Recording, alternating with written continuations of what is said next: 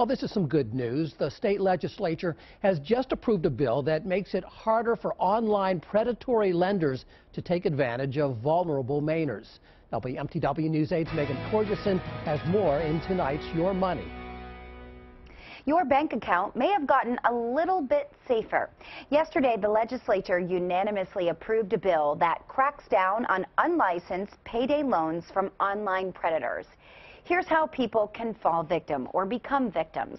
Once a borrower gets the loan, rarely can they pay it back in full. That's because the interest rates can be anywhere from 300 to 600 percent from these online lenders. This ends up meaning more borrowing just to keep up.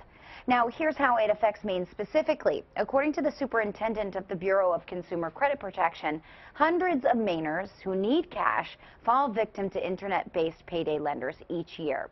Last year, 65 consumers sent written complaints to the Bureau. 100 other consumers reported being harassed when they couldn't pay.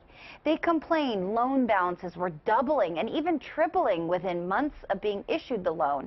Now, this bill makes it harder for these lenders to access a borrower's bank account through the third party that processes that loan. The next step for this bill is the governor's signature. For your money, I'm Meghan Torjussen.